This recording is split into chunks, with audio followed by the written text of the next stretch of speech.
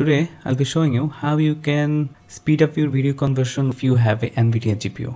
So normally when you convert a video with FFmpeg, if the video is in high resolution then it may take a long time. If you offload the video encoding to NVIDIA GPU then it will be a lot faster than using typical processor based encoding. I'll be showing you how to do that. So first of all, you have to understand what GPU you have and does your GPU support the encoding you want to do. So for that, NVIDIA provides a website where you can see the supported encoder and decoder against each GPU. This is the page. I have already shared the link in the video description. You can check out there. Assuming you have a RTX 3060 GPU, which is a common and popular GPU in 30 series. So you can type here and press enter then you will see what kind of encoder it supports and what kind of encoder it doesn't.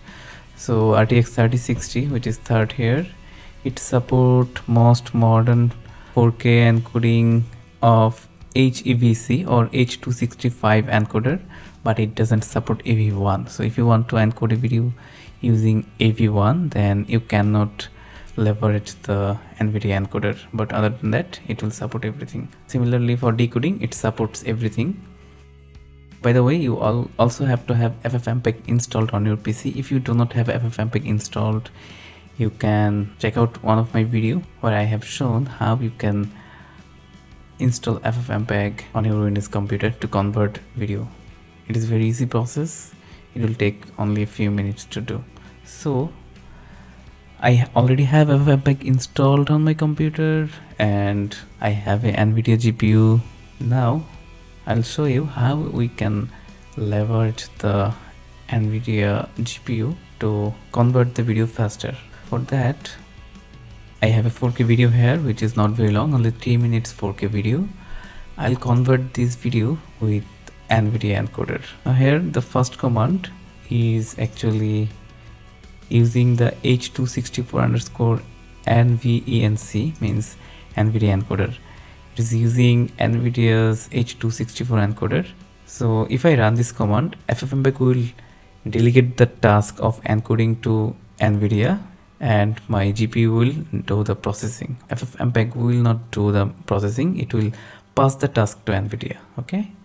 So if I run the first command, video conversion will be done with NVIDIA encoder but if I use a typical encoder which is libx264 it will be executed in typical way where uh, no GPU is used only processor is used so NVIDIA designed this encoder and also the GPU in such a way that we can have the maximum speed out of the GPU for this encoding. So if I run the first command if I copy the command and go to my task manager go to my GPU I can see that it's already running 40% 30% because I'm recording the screen if I open the terminal where the video is located and paste the command and press enter I'll see that now my GPU is on load more than 70%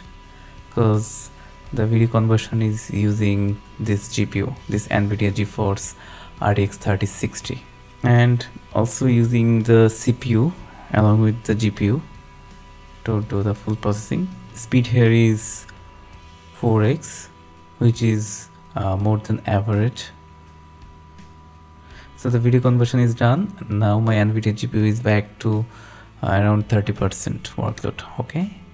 Now I have the second command which is not using the GPU which is a typical FFmpeg command. If I run this command and go to the resource monitor I can see that GPU is loaded as usual the 30 the 30 to 40 percent.